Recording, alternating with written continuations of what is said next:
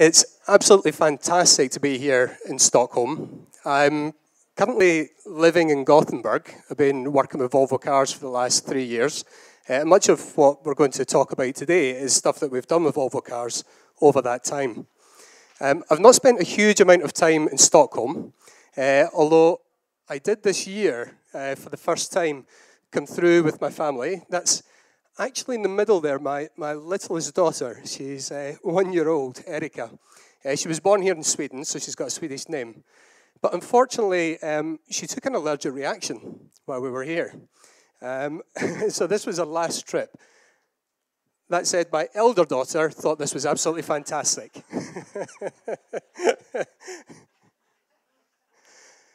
so what we're going to talk about today is it's about leadership. And for many of us in the room, I'm sure we've built our careers up over many decades, certainly many, many years. Uh, but many of the management practices that we've built our careers upon have to change now because economic efficiency is no longer the primary thing that we need to focus on. It's all about responsiveness. How can we become much more responsive? And how can we find ways of finding out where the constraints are within our organization? But I think it's fair to say that for everyone in this room, especially for me, technology has played uh, an important part in our lives. So I thought it would only be fair to start with some personal stories. So this was me, Christmas Day, age 10. And this was my, my very first computer, a Commodore 64. Um, Basic was my first language. I was never into computer games. I played Paperboy, but that, that was about the extent of it. And my parents, they never really understood why I wanted a computer. And obviously, it's, it's, become a huge part of my life now, so it's been quite important. But I used to terrify my parents because you used to get an illegal exception that you could get back from BASIC. So I, I would type in bank details, and then I'd horrify them because they think I was poking around at the, the edges of banking infrastructure. Skip past a few years, and these types of telephones, they were common issue in the UK. Uh, I, I was brought up in Scotland, and British Telecom used to give these free of charge with your phone lines. But this was back in the days long before mobile phones. So people weren't able to simply connect at any point. They had to arrange in advance that you're going to phone, and you'd have to get, you know, be waiting by the telephone in the house. Um, and then my parents could never quite understand why the phone calls never came. My computer habit had turned into an internet habit, and I was consuming a phone line upstairs. So many, many years they waited by. At this point, I probably was trying to get access to uh, access to banking infrastructure. Age 24. Uh, show of hands, does anybody's on site look like this just now? Thank goodness, I'm really pleased to see that. but, but this is what things looked like when I finally became a programmer. And you had to plan in advance really a huge amount of things. You had to anticipate a huge amount of things about how people were going to interact with your software. Um, I, I, have to openly admit, it wouldn't be the first time that I've accidentally flicked the wrong button or pulled the wrong cable. Um, so this is quite terrifying. But then you skip forward to today, and I'm not going to give away my age. Certainly a lot older than, uh, than the previous slide, but things have changed a lot. So there's Erica now, not having an allergic reaction, but certainly playing with the mobile phone. And of course, there's tablets. And even Grandad's getting in the action with his e reader. Somewhere tucked behind him, Alexa's sitting listening, just waiting on cue to do something. Sonos, even our music and our television, is coming through speakers that are hooked up to the internet and ultimately running on software. And of course, all those different dial-up systems, they're, not relevant any longer because it's broadband. We, everything's coming over uh, Wi-Fi the whole time. So this is a very, very different world to what it was 10, 15, 20 years ago. And ultimately now, software is eating the world. It's accelerating faster and faster, and with that, all of our management practices and leadership practices, they also have to keep pace. They also have to change. But the, the problem that we have is how do we look at our organizations and start to understand what are the constraints, what are the things that are holding us back? Because I think, especially at conferences like this, we're, we're quite good at identifying new practices that we should adopt. But how do we know which ones we should stop doing? That's significantly harder. At an individual level, it's difficult to unlearn, but at an organizational level, when you've got all this organizational architecture and infrastructure around you, it becomes ever more difficult to take that step. Now, one of the things that makes that very difficult is called weak signals. And these essentially are tiny little fragments of information that are available and they can be seen, and I'm sure you're all seeing them in your organizations. But due to your experience, you're wrongly interpreting those things. We interrupt this program to bring you a special news bulletin. The Japanese have attacked Pearl Harbor, Hawaii by air, President Roosevelt has just announced. So, back in 1941, on the 7th of December, the Imperial Japanese Navy Air Service attacked the US naval base at Pearl Harbor. The attack began just before 8 o'clock in the morning, and it continued to run for seven hours, a complete bombardment. Now, over that time, around 2,433 American personnel lost their lives, and a further 1,178 were critically wounded. The Japanese uh, impact was significantly less. They lost 64 people. Now, it's well believed that this was a significant event and it hit the American public extremely hard. And it's believed that this is one of the things that caused America to finally join the efforts of World War II and support the Allied forces. But perhaps what's not quite so well known is this is a fantastic example of weak signals. There was a huge amount of information available to the leaders on the ground at Pearl Harbor that they weren't able to take advantage of due to their experience and the wrong in interpretation of that information. So, for example, ahead of the, ahead of the attack, um, the Tokyo had contacted uh, the US and told them to destroy all ciphers and all equipment. Uh, again, I believe in the morning of the attack, a, a Japanese midget submarine was sunk right at the mouth of Pearl Harbor. And then, within the hour on the lead up to the attack, there was a massive number of inbound, uh, inbound aircraft discovered on radar, but nobody was able to pick up on that information. And Dave spoke this morning about retrospective coherence. If we were to look at all the different pieces of information, that's only a snapshot of them, it would be very difficult to understand why anyone had misinterpreted those events and hadn't prepared themselves. But it's not so easy to anticipate. Slightly different to that is inattentional blindness. And again, Dave called on this one this morning.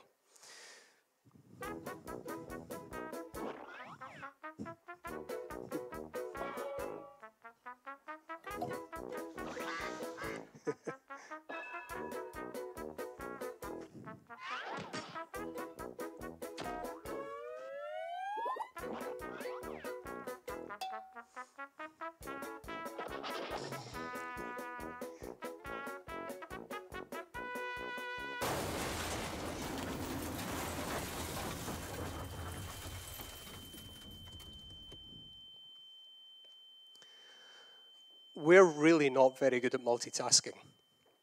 And we only see the things that we expect to see. And that's why catastrophes like this also happen.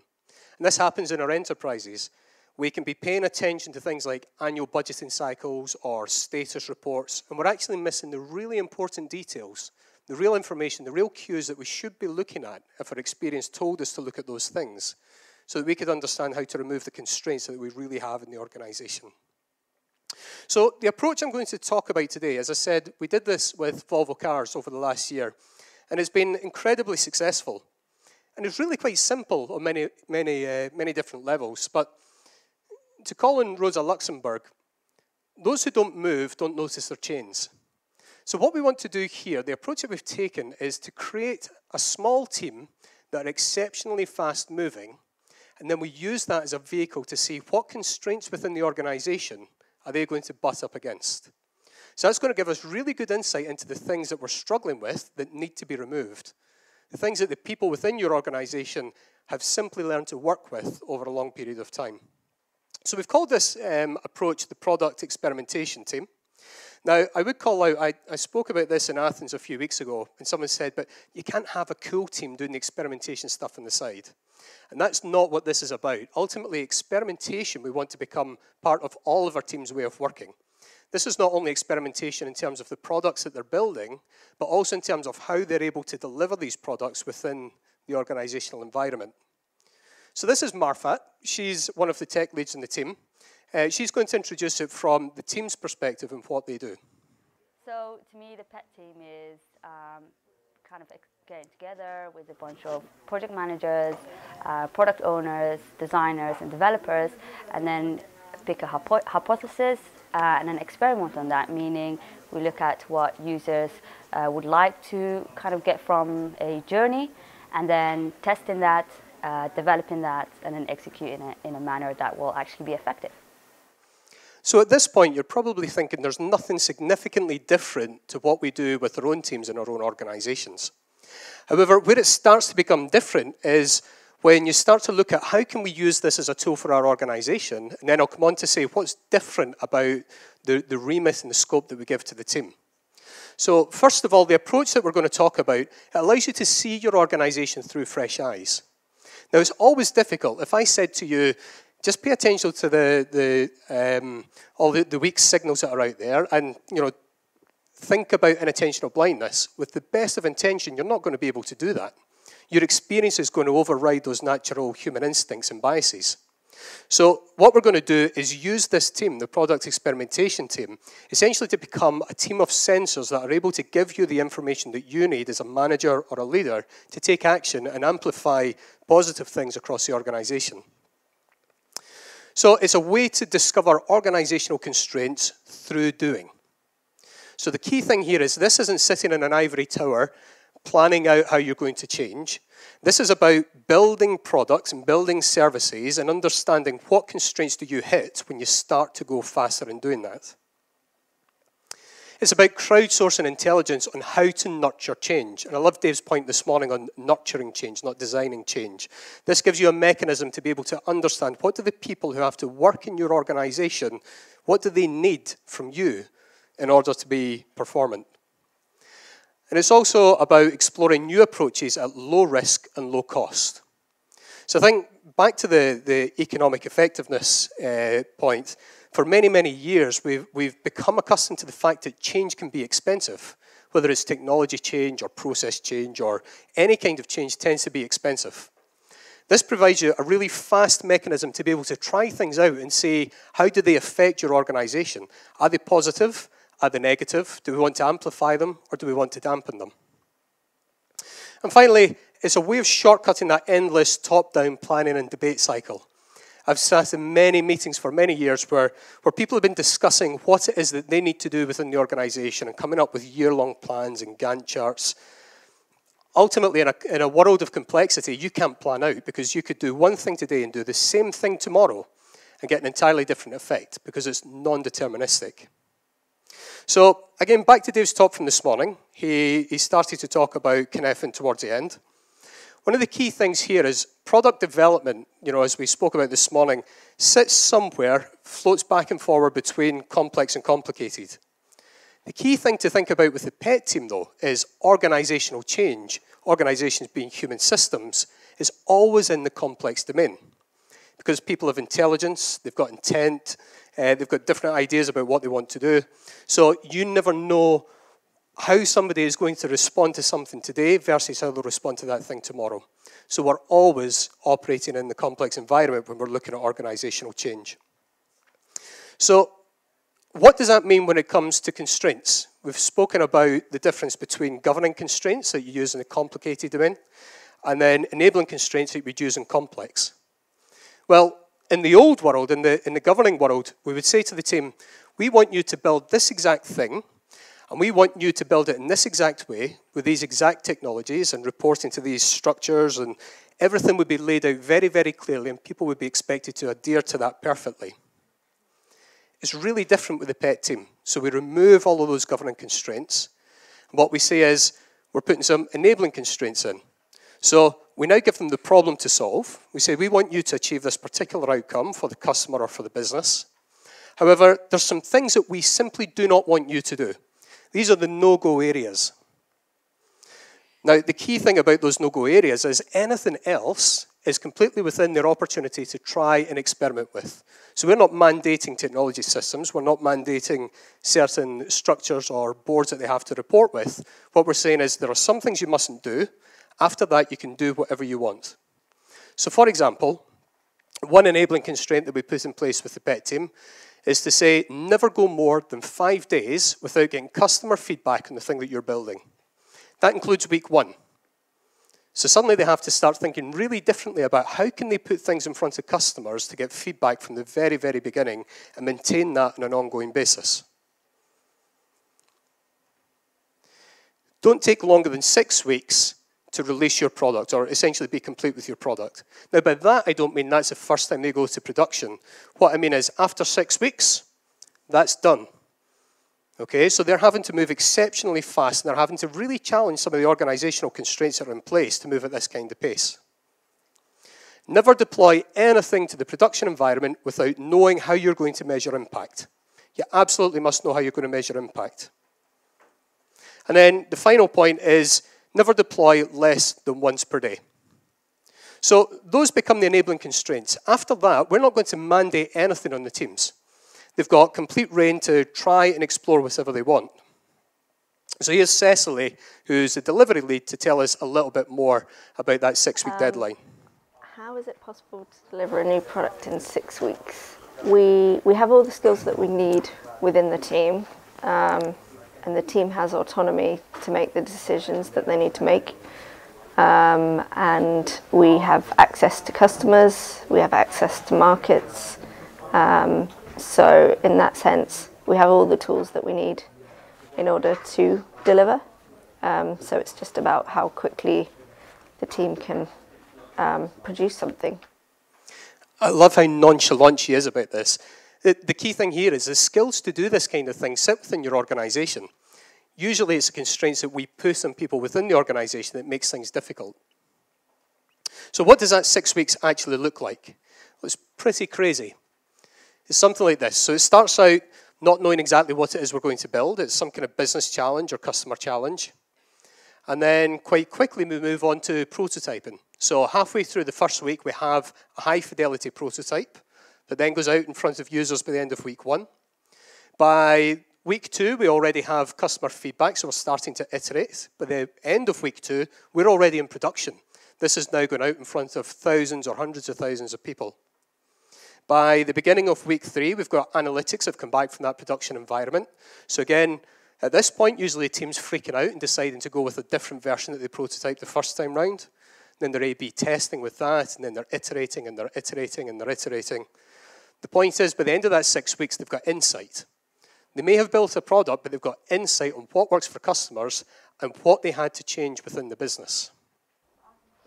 The biggest learning I made, both personally and professionally, is actually that by being able to act in an autonomous way, you can behave differently, you can take the opportunity to uh, actually take decisions when you need to take decisions, and you don't, you can be more brave, you can actually be secure in your way of being brave, that you know that if you fail, it's just that you learn from that and you, you do it better next time. So, how do the team actually do that? Well, again, this comes back to some of Dave's language. So, Dave often talks about attractors, and you might remember the phrase that we manage the emergence of beneficial coherence within attractors within boundaries. Well, an attractor essentially is some kind of social construct, whether it's people who uh, people listen to or whether it's different dynamics within your organization. But this attracts people towards that. And these are the things that often makes change difficult within your organization. What the team are going to do is start to experiment with different things that they have within their control. So essentially, they're looking to create new attractors. So it might be, for example, that at the start of this six week iteration, they needed to get access to analytics data, but that system or those people sit in a different department. Well, they could be experimenting to say, could we actually get access to those platforms ourselves? Could we actually set up our own platforms that could do this?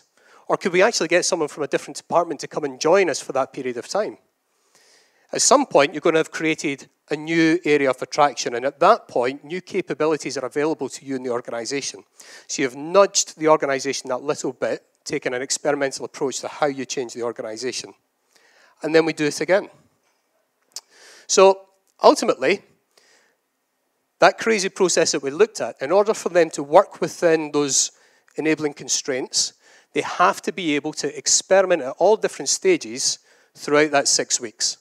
And that control to experiment and essentially break rules with leadership mandate sits entirely with the team. So, just in conclusion, I think it's opened people's eyes as to what's achievable um, and maybe um, encouraged maybe out of the box type thinking. So, certain challenges we've had around processes um, at first, you know, they've seemed quite like big um, things that we're asking for, but um, maybe we've managed to show that actually loosening up the process in certain places doesn't necessarily mean that everything's gonna, I don't know, fall over and all of that sort of stuff. I would definitely recommend for people to join the PET team. I think it's an amazing experiment, uh, an experience on top of that as well, uh, because it's a way of actually being able to be, again, involved in the whole kind of um, the making of a product, whether it's a journey or a standalone project. Uh, the most fun thing is probably just um, the team spirit. Um, we've definitely sort of fostered a really collaborative um, feeling within the team and, and everyone's supportive of one another. So that's been really good. What has been most fun for me? Everything. It's fun to go to work every day. I love that quote from Ulla at the end. Thank you.